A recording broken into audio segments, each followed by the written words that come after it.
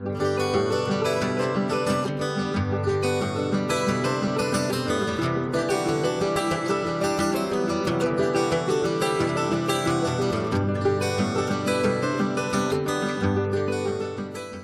Здравствуйте, в эфире программы «Городские встречи». Сегодня у нас в гостях Сергей Брагин, победитель всероссийского конкурса социального предпринимательства. Здравствуйте, Сергей. Здравствуйте, Анна. Расскажите в первую очередь, кто же такой социальный предприниматель? Отличается он от другого предпринимателя, работающего на себя? Да, а, к сожалению, в России нет четкого понимания, кто такой социальный предприниматель. А социальный предприниматель – это человек, который обеспечивает себя сам, то есть зарабатывает деньги, но в то же время решает какую-то социальную а, проблему. Мой проект решает э, проблему раннего физического развития детей. То есть в нашем клубе могут заниматься детки от трех лет и старше, а также э, получают радость движения дети те, кто остались, к сожалению, без попечительства родителей, то есть дети детских домов и дети и воспитанники школ-интернатов. Скажите, речь идет о батутном клубе, да, но помимо батутов, наверное, еще что-то там есть. Вот, может быть, расскажете, чем детки занимаются и почему социальной направленности это место? То есть не всем, можно, не всем нужно платить деньги или как? С кем-то вы работаете, может, с особенным? Да, как вы правильно подметили, э, в нашем клубе не только батуты, можно там не только попрыгать, а также клуб имеет много других э, спортивных направлений, таких как КПР, это афро-бразильское танцевальное единоборство, детская хореография от трех лет, художественная гимнастика, брейк-данс для детишек постарше, различные восточные единоборства, акробатика как для детей, для взрослых. Ну, также мы проводим различные, дет... различные детские праздники дни рождения, выпускные. Ну и также проводим различного характера э, мастер-классы для детей, которые остались без попечительства родителей, дети-сироты, дети, э, воспитанники школ-интернатов. Такие мероприятия мы уже проводили. Для них занятия проводятся бесплатно. Ну, то есть вот часть этой социальной направленности. Как В том раз, числе да? стоит упомянуть, что стоимость наших занятий, абонементы на порядок ниже, чем в среднем по городу. А о чем вы говорили тогда на конкурсе, когда представляли свой проект, на какие моменты делали аспекты, и почему вы думаете, вот чем, чем мог понравиться именно ваш проект в финале? Угу. Я понял. А, я думаю, что это в первую очередь э, проект, который помогает путем раннего развития дать ребенку полноценное развития. То есть я считаю, что и убежден, я считаю и убежден, что дети, начиная даже с младшего возраста, должны физически развиваться. Это очень хорошая мотивация для дальнейшей их жизни. То есть они помимо физического развития очень хорошо развиваются как социально, так и умственно. То есть с трех лет можно уже к вам отправиться? Да, конечно. И что может ребенок у вас в три года делать? Чем заняться? Вы знаете, мы по большей части осуществляем э, удовлетворяем э, потребность, естественную потребность детей, это в движении. Там не очень много играет, там очень много места, там есть в нашем клубе, наш клуб обеспечен всем необходимым для того, чтобы в безопасных, комфортных условиях дети могли просто побегать, поиграть, порезвиться. И вот в, вся концепция моего проекта в том, чтобы в игре дать какие-то детям упражнения, чтобы это было естественно, не прибегая к какому-то ну, назвать это насилие, так, чтобы это было все естественно для, для детей. Но есть ли у вас какой-то вот грандиозный план? Ведь вы недавно начали, получается, да? И, может быть, вы хотите сделать здоровую нацию или как-то вот о чем речь идет? Ну да, э, также с вами соглашусь. Э, моя цель в итоге – это популяризация здорового образа жизни, развитие физического Э, физической культуры в Рязани, в Рязанской области путем вот создания такой, такого проекта.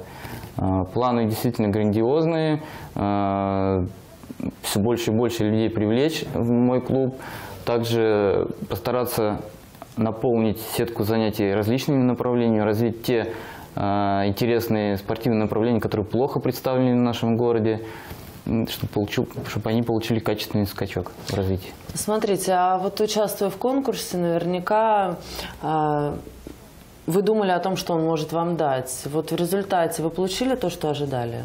Да, я получил то, что я хотел. В первую очередь, это подтверждение и признание э, лиц, которые да, в этом деле уже работают и работали, что они увидели мой проект, поддержали его. Это огромный стимул дальше продолжать его развитием, заниматься развитием его.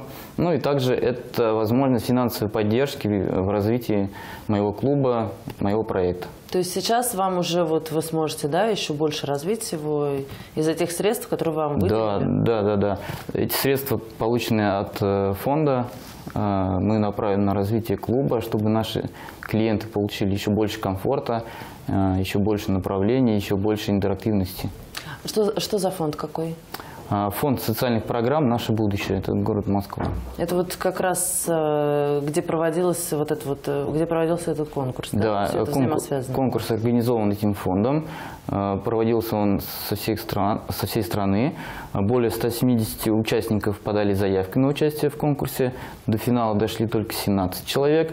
Из них только 14 одержали победу. То есть не факт, что все, кто прошел финал, даже могли одержать эту победу. Скажите, вот сейчас с детьми из интерната вы уже работаете, а может быть из малообеспеченных семей когда-нибудь? Или вот угу. какие планы у вас вообще? В планах это есть, к тому же в проекте это предусмотрено для, детей, для родителей, многодетных родителей, для малообеспеченных семей. У нас предусмотрены льготные абонементы по очень хорошим ценам, доступным ценам, для того, чтобы и их детишки могли заниматься в нашем клубе. Скажите, вот сейчас Новый год, может быть, вы что-то придумали тоже для своих ребят, которые туда ходят, для своих детей, может быть, какие-то конкурсы, соревнования. Сейчас по всему городу проходят различные мероприятия. Что придумали вы? Э, наш, наш клуб э, готов для рязанцев предоставить новогодний квест, э, в ходе которого детишки, группа детишек будут искать Деда Мороза. При этом им нужно пройти будет очень сложный ряд заданий на ловкость, на смелость, на смекалку. Будут присутствовать различные конкурсы как на батуту, так и вне его, с обязательным вручением подарков, сюрпризов, а также праздничным столом. Угу. А батут это вообще страшно? Там надо что-то а, уметь вот особенное, чтобы не переломать себе ничего? Конечно, батуты, они вещи такие э, да, травмоопасные, но если подходить к этому с умом, если придерживаться техники безопасности, а, батуты больше дарят радости, нежели каких-то ну, проблем или травм. Вот. И если, опять же, повторюсь, к этому подходить с умом. А что в физическом плане развития дают батуты? Если говорить конкретно про батуты, то помимо э, радости и э, положительных, положительного настроения при прыжках на батутах, развивается все тело одновременно. Э, это очень хорошая аэробная нагрузка. Э, небольшой факт приведу, что 10 минут прыжков на батуте равняется 30 минутам интенсивного бега. То есть, ну, таким образом, да. И плюс э, на батутах не повреждаются суставы. Это очень хорошо для тех, кто вот имеет проблемы, например, с опорно-двигательной системой. А растянуть себе мышцу, потянуть там можно, если не разогреться, или как вообще? Вообще да. Любая физическая активность, а тем более такая экстремальная, как прыжки на батутах, может подразумевать собой. А, поэтому для того, чтобы заняться прыжками на батутах, провести занятия, рекомендуется провести то есть разминку со всеми своими а, учениками и посетителями мы обязательно проводим разминку, чтобы минимизировать получение травм. А доктор у вас в центре есть? Пока нет, э, но я думаю, в результате развития клуба появится, наверное, что-то что, -то, подобное. Да? Может быть, ну, пока мы ограничиваемся только противопоказаниям, то есть уточняем у посетителей, есть ли какие-либо противопоказания к данному ну, виду спорта. Ну, все же я спросила, потому что детки, мало ли что они там поцарапаются, где-нибудь потянут.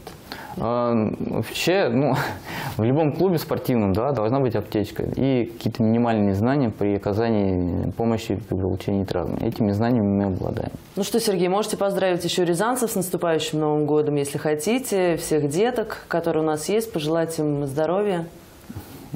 Да, пользуясь моментом, хочу поздравить э, рязанцев и жителей нашего города, гостей с наступающим Новым годом. Э, хочу пожелать э, в следующем году удачи, здоровья, заниматься спортом, развиваться как физически, так и умственно и добиваться своих целей.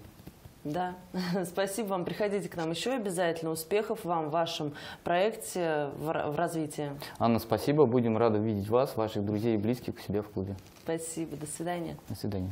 Это была программа «Городские встречи». Увидимся с вами в эфире или на нашем официальном сайте город62.тв. До свидания.